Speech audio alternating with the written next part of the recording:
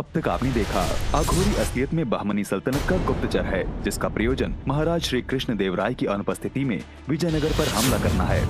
और इस साजिश के तहत वो तथाचार्य को बरगलाकर रामा को मृत्यु दंड दिलवाते हैं।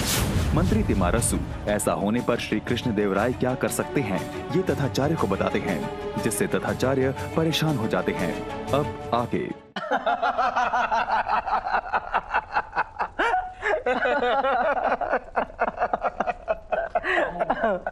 पंडित रामकृष्ण ये युक्ति अवश्य काम करेगी। आप देखिएगा आचार्य स्वयं आपको राज दरबार में बुलाकर आपका दंड रद्द करने वाले हैं।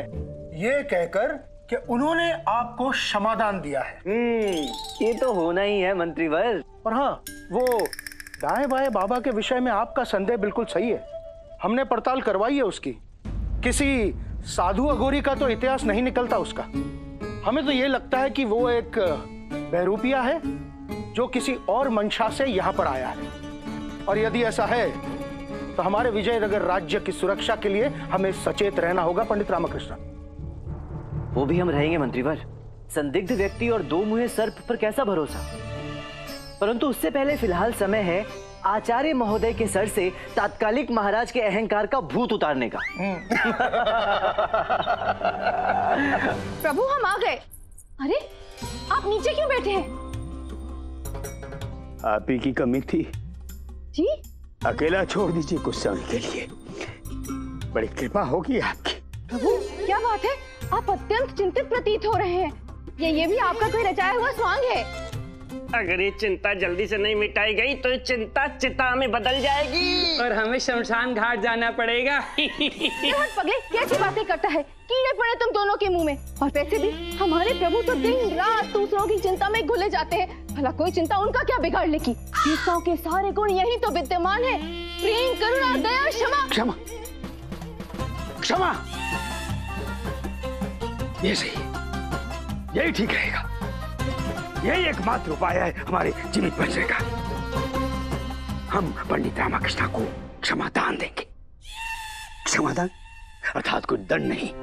कोई दंड नहीं? अर्थात पंडित रामाकृष्ण जीवित पंडित रामाकृष्ण जीवित अर्थात हम जीवित मिल गया मिल गया, हो गया हो गया हो गया हमारी समस्या का निदान। जय हो। तथाचार्य की बुद्धि, जय हो। बुलाओ। अभी के अभी दरबार बुलाओ। हम पंडित रामाकृष्ण को जीवन दान देंगे। अरे मूर्खो जाओ। दरबार बुलाओ। जी गुरु जी जाओ। चल। हम पंडित रामाकृष्ण को क्षमादान देंगे। हमने यह तत्काल सभा इसलिए बुलवाई है ताकि हम एक अत्यंत आवश्यक घोषणा कर सकें। देखिए बात यह है हमने बहुत सोचा। जब सोचा तो यह बोध हुआ कि पंडित रामाकृष्णा को दिया गया दंड एक साधारण आम अपराधी के लिए तो उचित है। परंतु पंडित रामाकृष्ण, जिन्होंने इस दरबार में आई कई बड़ी बड़ी गुत्थियों को सुलझाया है, राज दरबार की बहुत सेवा की वैसे व्यक्ति के लिए कम से कम एक बार तो प्राणदान बनता ही है। अंततः हम इस निर्णय पर पहुँचे हैं। पंडित रामाकृष्णा को दिया गया मृत्यु दंड वापस लिया जाए। और पंडित रामाकृष्णा को क्षमादान दिया जाए। किंतु कोई किंतु विंतु नहीं। हमने जो कह दिया सो कह दिया पंडित रामाकृष्णा हमारे रहते आपका कोई बाल भी बांका नहीं कर सकता। एक छींक तक नहीं आने देंगे हम आपको। हाथी तो क्या? हमारे इस दरबार में स्थापित रहते एक चींटी तक आपको नहीं काट सकती। सिपाहियों, पंडित रामाकृष्णा को बंधन मुक्त किया जाए। ठहरिए। तत्कालिक महाराज। मैं आपके इस प्रेम और स्नेह का हृदय से आभारी हूँ। परंतु क्षमा करें मुझे आपका क्षमादान नहीं चाहिए।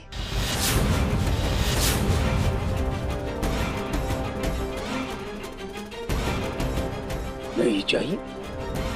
क्यों नहीं चाहिए? क्योंकि मैं अपराधी हूँ तात्कालिक महाराज। मुझसे अपराध हुआ है। मेरे कारण एक साधारण भोला भाला मनुष्य कुत्ता बन गया। कितना बड़ा पाप हुआ है मुझसे। नहीं नहीं। आप तो मुझे हाथियों से कुचलवाइए। दंड दीजिए मुझे। मैं इसी योग्य हूँ। चलिए चलिए। मुझे वापस कारावास ले चलिए। रुकिए रुकिए। सुनिए क्या कर रहे हैं आप? आप तो स्वयं इतने बड़े पंडित शास्त्रों के ज्ञाता हैं। क्या लिखा है शास्त्रों में? संसार का सबसे बड़ा दान क्षमादान होता है। दे रहे हैं ना आपको? रख लीजिए रख लीजिए। नहीं तात्कालिक महाराज। उन्हीं शास्त्रों में यह भी लिखा गया है कि न्याय की दृष्टि में सब समान होते हैं, चाहे कोई भी हो, कोई बड़ा छोटा नहीं होता। इस संसार में न्याय कर्तव्य से बड़ा और कोई कर्तव्य नहीं होता। आपने मुझे दंड सुनाकर अपना कर्तव्य निभाया? अब मैं उस दंड को भोग कर अपना कर्तव्य निभाऊँगा। इसलिए मुझे आपकी क्षमा नहीं चाहिए। क्या शास्त्रार्थ कर रहे हैं आप, पंडित रामाकृष्ण कह रहे ना आपसे मान लीजिए हमारी बात। खुलवाइए अपने बंधन। रख लीजिए क्षमादान रख लीजिए। नहीं चाहिए। क्यों नहीं चाहिए? देना होगा आपको। कि हम आपके महाराज तथाचार्य का आदेश। आप ही के आदेशों का पालन कर रहा हूँ तात्कालिक महाराज। मृत्यु दंड तो आप ही ने दिया था ना? क्षमादान दे रहे हैं ना? पहला आदेश पहले पहले प्राण दूँगा उसके बाद दूसरे आदेश का पालन करूँगा। प्राण ही चले गए तो प्राण दान का औचित्य क्या रह जाएगा? ये तो मृत्यु दंड देने से पहले सोचना चाहिए था ना? तो कर रहे हैं ना भूल का सुधार। नहीं नहीं मुझे तो दंड भोगना है मुझे प्राण देने ही है। भगवान ये पंडित हमारे प्राण लेकर ही मानेगा देखिए आप समझ नहीं रहे हैं। आप नहीं समझ रहे तत्कालिक महाराज यदि मुझे मृत्यु दंड नहीं दिया गया ना तो विजयनगर की न्याय प्रणाली को बहुत बड़ा दोष लगेगा। आप दंड दीजिए मुझे। हम्म। महाराज आपको इस अपराधी की बात मान लेनी चाहिए। मैं जानता हूँ आप विशाल हृदय वाले हैं परंतु न्याय आखिर न्याय होता है। नहीं। मैं बाबा की बात से पूर्णतः सहमत हूँ। मुझे हाथियों के पैरों से कुचलवाइए। नहीं। मैं तो कहता हूँ अमावस की रात की भी प्रतीक्षा क्यों करें? मुझे अभी इसी क्षण मृत्यु दंड मिलना चाहिए। अरे देखिए हम आपसे विनती कर रहे हैं। हाथ जोड़ रहे हैं आपके सामने। मान जाइए हमारी बात। ले लीजिए क्षमादान। मैं भी तो आपके आगे हाथ जोड़ रहा हूँ। कदापि नहीं मृत्यु दंड तो मैं लेकर रहूँगा। चलिए।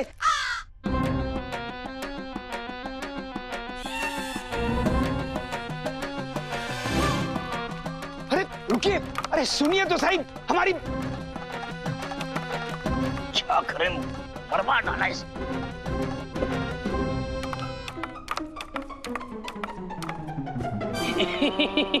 गुरुजी आपको कौन सी लकड़ी पसंद है? चंदन की या शीशम की? बताइए। क्यों? गुरुजी आपका अंतिम संस्कार होना है ना? आपकी चिता उठने वाली है, हैं?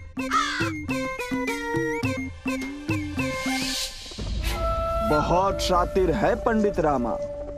उससे भी कहीं ज़्यादा जितना हमने उसे आका था। हमारे एकमात्र मोहरे तथाचार्य के कदम भी लड़खड़ाने लगा। उस रामा की वजह से। ज़रूर खिचड़ी पक रही है उसके खुरापाती दिमाग में। वक्त का तकाजा यही है कि और हमें वक्त बर्बाद नहीं करना चाहिए। तो अब क्या इरादा है हुजूर का? वक्त आ गया है आसिफ अली। अब और इंतज़ार नहीं। विजयनगर पर हमला दो दिन बाद नहीं बल्कि कल ही करना होगा। बहुत जल्दी है ना उस पंडित को मरने की? तो कल पंडित जाएगा स्वर्ग और विजयनगर पर होगी हमारी हुकूमत। हमें अपनी पूरी ताकत पूरी शिद्दत झोंक देनी होगी इस जंग में आसिफ अली। कल नेस्तानाबूद करके रख देना है विजयनगर का जर्रा जर्रा युद्ध की तैयारियाँ करो। हथियार तैयार करो घोड़े तैयार करो। और जाकर ऐलान कर दो। कि युद्ध कल ही होगा। जाओ। जी हुजूर। बस।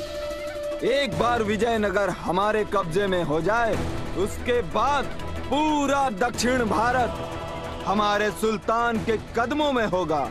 फिर पूरा भारत।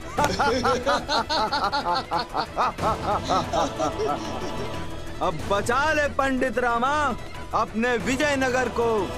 अरे तू क्या बचाएगा? तू तो कल खुद को नहीं बचा पाएगा। ये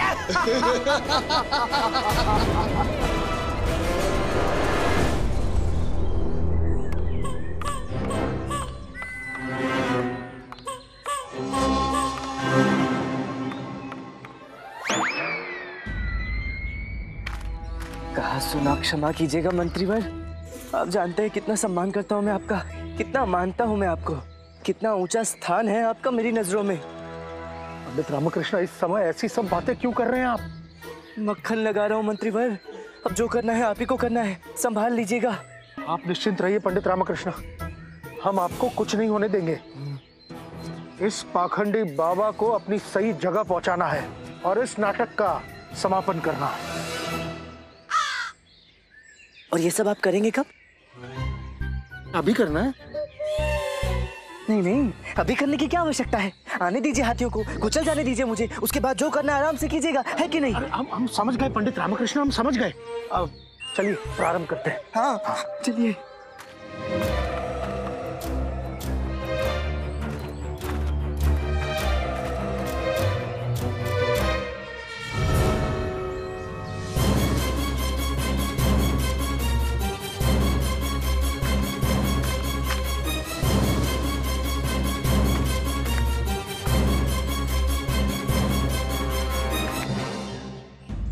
ये आप क्या कर रहे हैं तात्कालिक महाराज?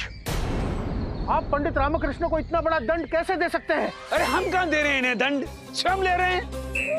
गला सूख गया हमारा समझाते समझाते कि हमने क्षमादान दे दिया है। कोई आवश्यकता नहीं है दंड भोगने की। तो ये माने तब ना। ये सब आपके इन बाबा के कारण हो रहा है। आप इनकी बात मानकर बहुत ही गलत और बहुत ही बड़ा निर्णय ले रहे हैं। इसकी बातों में ना आना राजन। ये ये नहीं।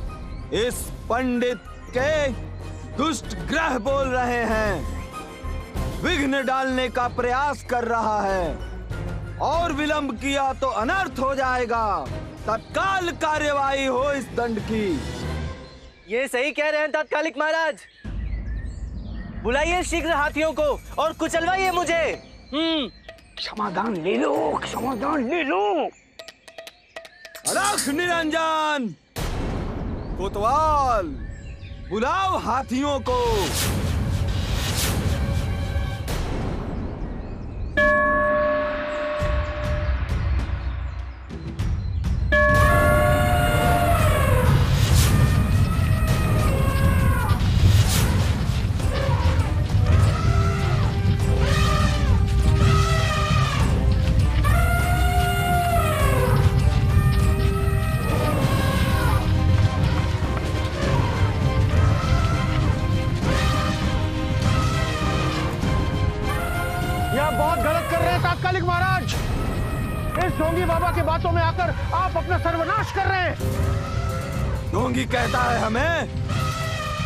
एक अघोरी पर लांछन लगाता है।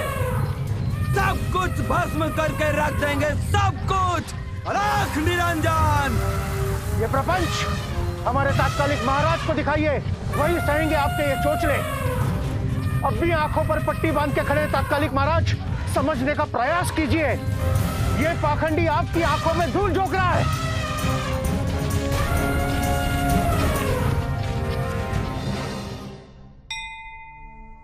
उठा लो, माँ उठा लो। अगर आवश्यकता हो तो रामा की जगह हमें उठा लो। परंतु रामा को कुछ मत होने देना। मेरा रामा हमेशा सच का साथ देता है। हमेशा सत्य के लिए लड़ता है। उसने ये प्रपंच से बाहर निकलने का और दूसरों को सबक सिखाने का फैसला लिया है। माँ, आप उसे सफलता देना। मेरे बच्चे को कुछ मत होने देना।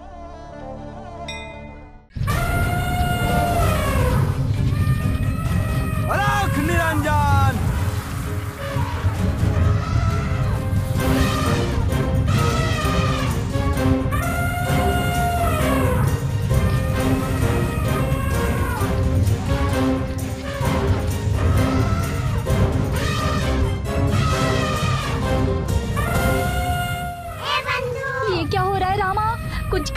ऐसी स्थिति में मैं क्या करूँ? मुझे बड़ा डर लग रहा है। कुछ उल्टा सीधा हो गया तो?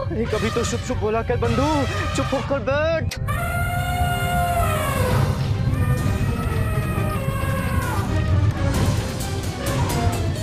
पंडित रामकृष्ण आप ठीक तो है?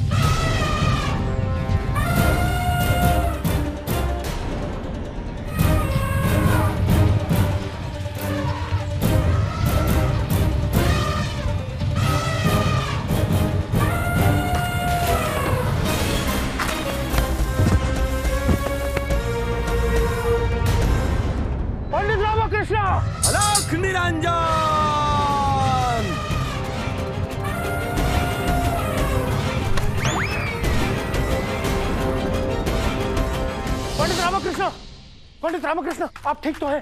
हाँ मंत्रीवर बहुत बहुत धन्यवाद। अब आएगा खेल में आनंद। चलिए। ये खेल नहीं है पंडित रामकृष्ण। आज अनर्थ हो सकता था। मेरी आँखों में उस दाएँ बाएँ बाबा ने भस्म डाल दी थी। अगर एक क्षण की भी त्रुटि हो जाती तो आपकी जान जा सकती थी। आप अपने जीवन को कुछ नहीं होता मंत्रीवर।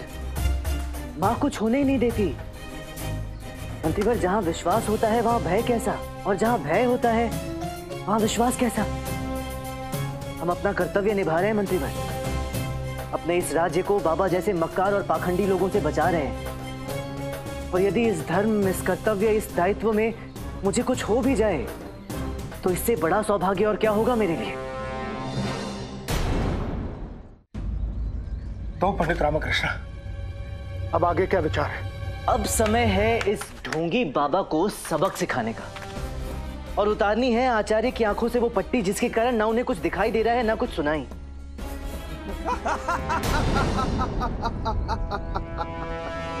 आखिरकार, ये पंडित रामाकृष्णा नाम का कांटा हमेशा के लिए हमारे रास्ते से साफ़ हो ही गया।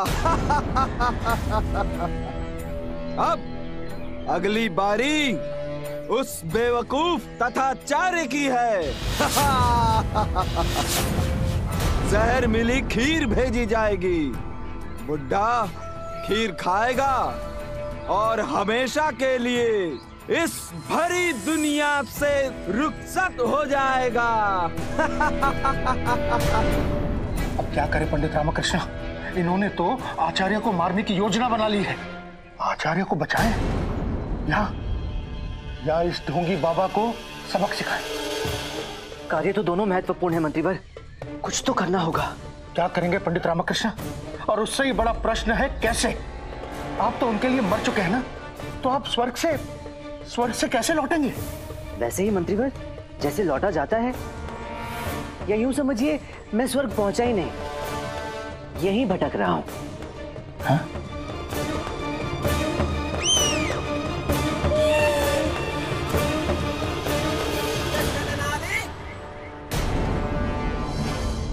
कैसे हो गया ये सब? ये कोई आयु नहीं थी आपकी इस तरह चले जाने की। भगवान जानता है कितना आदर कितना सम्मान करते थे हम तुम्हारा पंडित रामाकृष्ण। अब क्या लाभ झूठ बोलने से गुरुजी? अब ये झूठ आपका कौन सा सुनने वाला है? हाँ थोड़ा मन मुटाव चलता रहता था। परंतु इसका अर्थ ये नहीं था कि हम आपकी मृत्यु चाहते थे। ना कदापि नहीं। बहुत याद आएगी आपकी पंडित रामाकृष्ण गुरुजी जो भी बोलिए सोच समझ के बोलिए। अरे क्यों? ये पंडित यहाँ कौन सा है जो हमारी बात सुन लेगा? चला गया बेचारा। सिधार गया स्वर्ग। गुरुजी मैंने सुना है कि मृत्यु के 12 घंटे तक आत्मा कहीं नहीं जाती, अपने आस पास रहती है। हाँ और सब कुछ सुनती है, देखती भी है। अरे, गुरुजी दुखी नहीं होते तो तेरे तोते उड़ा देते आज। हैं?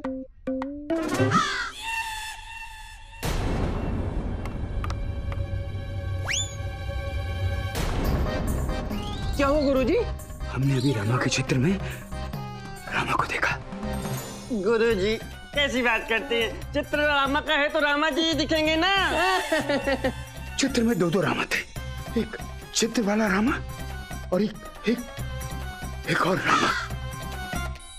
ये ये कहीं कहीं रामा का भूत तो नहीं था?